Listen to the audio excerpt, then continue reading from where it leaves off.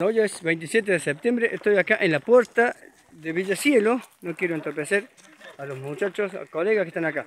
Estoy acá enfrente, a lo tenemos a Miguel. A ver, cuéntanos Miguel, ¿cuál es su motivo de su visita a esta reserva? Bueno, yo soy Miguel Mañasco, soy subsecretario de Biodiversidad del Ministerio de Ambiente y Economía Circular del Gobierno de la provincia y por pedido del intendente Fabricio Díaz hemos venido a recorrer esta zona que fue muy afectada por el fuego, esta reserva, y para empezar a trabajar desde hoy en el plan de restauración post-incendio que se llama restauración ecológica, que básicamente se trata de un plan que lo que trata es de cuidar para que esta zona que fue afectada por el fuego pueda ir resurgiendo y, esa, y la naturaleza se pueda recomponer para gozar de todos los beneficios ambientales que tienen reservas como esta de monte nativo, muy importante. Y por eso también venimos a traer recomendaciones para la comunidad en general, que veníamos charlando con el intendente. Y estas recomendaciones es muy importante que la sociedad las siga porque hay algunas recomendaciones para que se recupere bien la naturaleza en donde se ha quemado, que por ahí son contraintuitivas, es decir, uno siempre quiere venir y plantar ahí donde se quemó, y eso no es lo que sirve, no es lo que le sirve a la naturaleza. Uno tiene que esperar, ver si la naturaleza por sí misma resurge, puede ir haciendo otras actividades, puede ir estudiando qué niveles de rebrote hay, puede ir juntando semillas de la vegetación nativa, siempre tiene que ser con vegetación nativa, porque es la que le hace bien al suelo para que se recupere.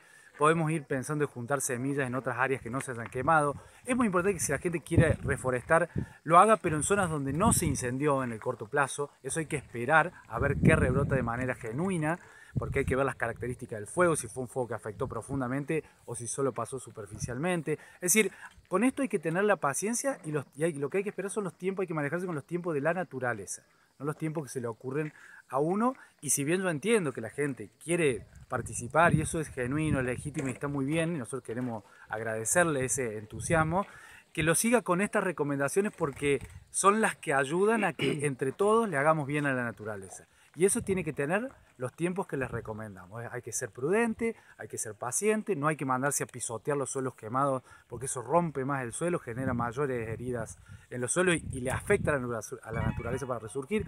O sea que, bueno, nosotros tenemos que trabajar con paciencia, respetando los tiempos de la naturaleza y ahí donde no vino después la naturaleza, donde le costó más, sí poder luego, después de un tiempo perentorio, organizar y ahí sí poder reforestar en donde haga falta, donde no resurgió solo, pero todo hay que irlo analizando y ser muy prudentes y pacientes y sobre todo cuidando la naturaleza para que resurja y podamos entre todos seguir disfrutándola. ¿Tiene un cálculo, Miguel, de, lo que se ha quemado?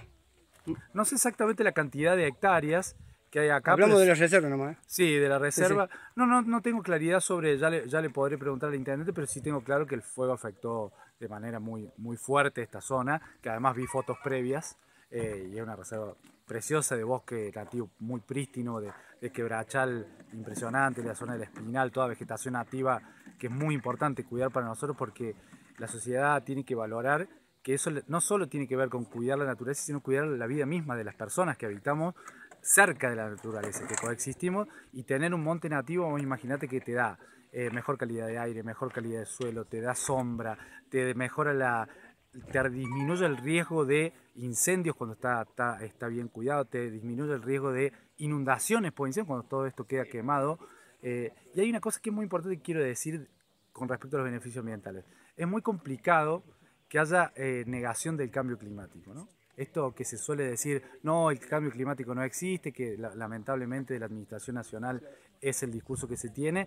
Fíjense cómo tenemos una época de sequía muy fuerte, hubo heladas muy fuertes que contribuyeron a secar más la vegetación. Entonces, eso no, no, tenemos la, no está la culpa implícita de alguien en concreto. Hay una situación climática mundial que afecta concretamente en situaciones como estas a, las a todas las comunidades en todos los territorios y lo que nosotros nos tenemos que hacer en todo caso como comunidades, del lugar que nos toque, a los que nos toca gobernar con decisiones públicas conscientes, pero la sociedad en su conjunto, de prepararnos para los efectos que tiene ese cambio climático. Y eso la verdad que hubiera venido muy bien que hubiera mayores aportes de nación, ya no solo con lo del combate del fuego, sino previo para mantener la infraestructura, para poder generar mejores estrategias de cuidado eh, y sobre todo lo que te decía, proteger estos bosques, siempre lo nombro así porque no es lo mismo un árbol que siempre está servicio ecosistémico, pero los bosques prestan todos los servicios ecosistémicos, le dan refugio a la fauna, más oxígeno, más eh, posibilidad de tener sombra en verano, disminuye las olas de calor, o sea, tiene una gran cantidad de servicios que hay que,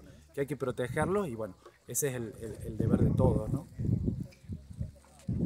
Esas fueron las palabras, perdón, Este, esas fueron las palabras de Miguel. Así que este, repetime el, nombre completo. Miguel Mañasco, subsecretario de Biodiversidad. Bueno, y de acá los despedimos, como siempre te lo contó Claudio Moyano desde la Reserva Natural Villa Cielo, que ha sido afectada, entre otros campos, por los incendios ya de público conocimiento.